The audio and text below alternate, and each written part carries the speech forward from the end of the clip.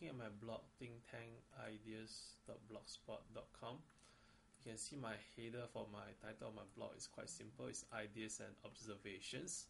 Uh, I would like to change the font into something much nicer. And I went on to design at blogger.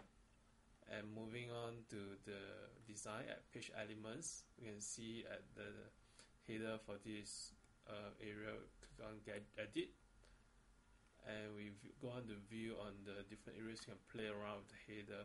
But looking at this I couldn't see any way I can change the font into a different style. Um, so I click cancel.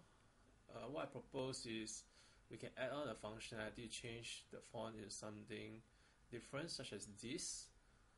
It's easier for users without any technical knowledge they could just simply choose the font style they want over here. And they can just simply click save. And with that they can build their blog into something of a font that they want. Thank you